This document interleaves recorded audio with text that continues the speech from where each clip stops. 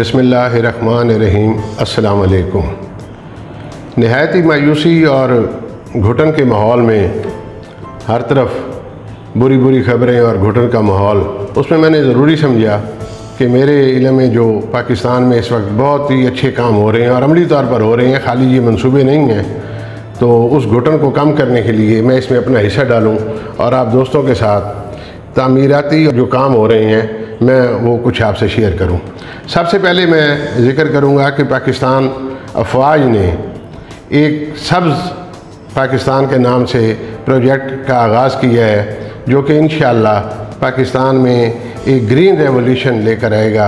और ये मॉडल जो है, उन्होंने यू ए यू ए ई से लिया है। यू ए में इसी तरह की बंजर और जो रकबे थे, उसके ऊपर पहले इस तरह का वहाँ की गवर्नमेंट ने इनिशिएटिव लिया और काम किया और माशाल्लाह वो ज़मीन बड़ी जरखेज़ है और वहाँ बहुत ज़्यादा पैदावार हो रही है। उसी मॉडल को जेन में रखते हुए गवर्नमेंट ऑफ़ पाकिस्तान और पाक अफवाज ने मिलकर ग्रीन पाकिस्तान इनिशिएटिव के नाम से ये प्रोग्राम शुरू किया है, जिसमें 44 लाख एकड़ बंजर ज़मीन जो है, उसको आबाद किया जाएगा। एंड डेफिनेटली ये प्रोसेस जो है इट विल टेक टाइम लेकिन माशाल्लाह इसका आगाज़ हो चुका है मेरे साथ ही, मेरा आबाई डिस्ट्रिक्ट ही कह लें, खानेवाल में, पिरोवाल के इलाके में। इसके ऊपर बाईस एकड़ के ऊपर 19 दिसंबर से, आज से छः माह पहले, उस पर प्रैक्टिकली उन्होंने काम शुरू कर दिया था और उसमें 2250 एकड़ के ऊपर मकई की काश की थी और वो मकई की फ़सल अब उनकी तैयार हो गई है और उसकी माशाल्लाह बड़ी ज़बरदस्त पैदावार है।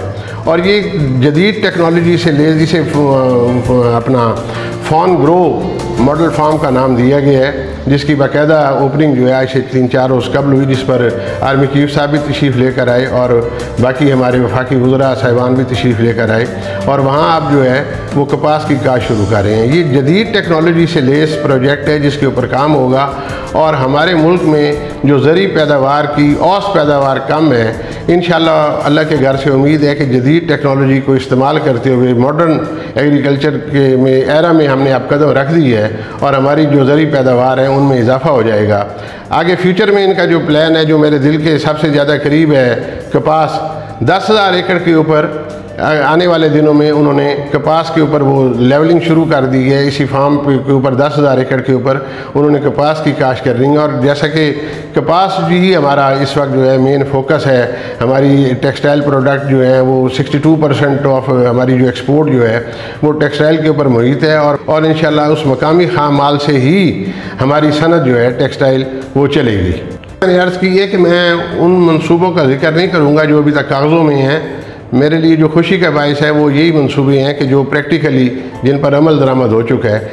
चश्मा जो है, उसमें न्यूक्लियर प्लांट का अफ्ताह हो चुका है और हमारी जो न्यूक्लियर पैदावार है तोानाई की, उसमें यकीन इजाफा होगा और ये बात किसी से ढकी छुपी हुई नहीं है कि एटॉमिक एनर्जी जो है, जिसे पैदा करने की जो कास्ट है, कीमत जो है, वो बाकी तमाम तोानाई के मनसूबे जो हैं, उनसे कम आती है। और इन जब ये हमारे सिस्टम में अब ये इनपुट शामिल हो गई है, इसकी एटॉमिक एनर्जी की पैदावार की तो इसमें हमारा इम्पोर्ट बिल भी कम होगा और इसमें आने वाले दिनों में टाइम टेकिंग है। आने वाले दिनों में इन एक आम आदमी के लिए भी आसानियाँ इसमें पैदा होंगी। पाकिस्तान, अफ़गानिस्तान और उज़्बेकिस्तान में सह अफ्रीकी ममालिक के दरमियान एक रेलवे माहा जिस पर दस्त होकर उस पर अमली काम भी शुरू हो चुका है और ये इन एक साल में इसकी तकमील होनी है। ये मज़ार शरीफ अफ़गानिस्तान से रेलवे शुरू होगी, जो पाकिस्तान में आएगी और इसमें मकामी तजारत जो है, हमारे दो मुल्कों की रीजनल ममालिक की तजारत जो है,